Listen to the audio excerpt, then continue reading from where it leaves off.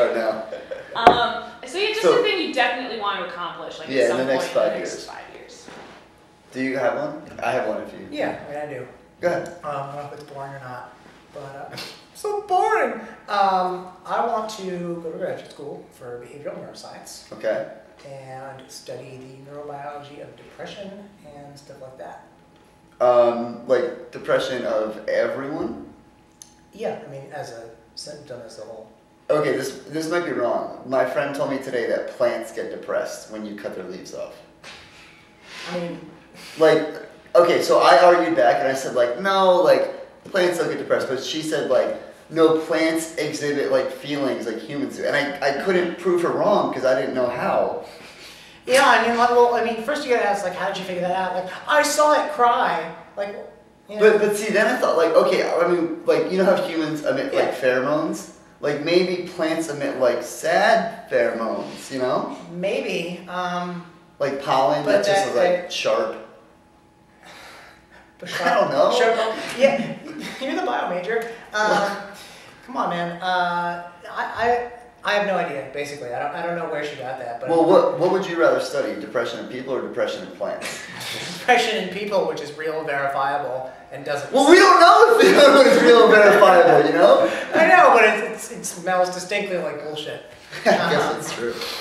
Uh, You Yeah. have to smell with one nostril. yeah. This is my bullshit nostril. My- This one can't smell it for shit. it's just sampling. um, yeah, so I want to study that because I think it's important, and I think psych. Actually, it's interesting you bring it up in terms of like um, credibility and like Yeah. questioning stuff. Like I think psych often runs into the problem of being sort of a floaty science. Flippa dippa. Yeah. Oh, I'm a psych major. Right. Um, I took the easy bio classes, and yeah. that was it. Yeah, I think it runs into that problem. So definitely the reason I'm sort of going this route with is to sort of I like to ground this stuff, you know, in more quantitative. I do have to give props to you though because I know like ten psych majors, and nine of them are like cashiers now.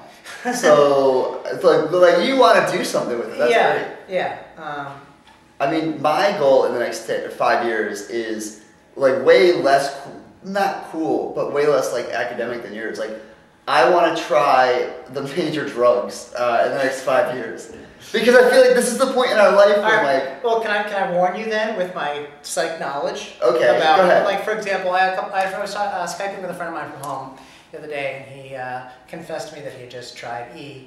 okay, ecstasy Oh, for yeah, those at home. For those unfamiliar. Um, and I responded with a, hmm, and like, you know, I don't want to like pass judgment. And then he freaked the fuck out because he was still on ecstasy. yeah, and and then, yeah, he just like smashed like the computer, the feed got cut. Um, he, uh, you know, he was cool with it, but I was basically saying, you know, what we talked about in class is that E is actually like one of those things that kills a ton of neurons. okay, wait, what class? Are you taking psychology, of drugs, and behavior? Uh, no. Okay, well, bio major took that. What up? And I found out that opiates are like the best drug to take ever. Yeah. So any opiate is heroin an opiate? Yes. I hate needles.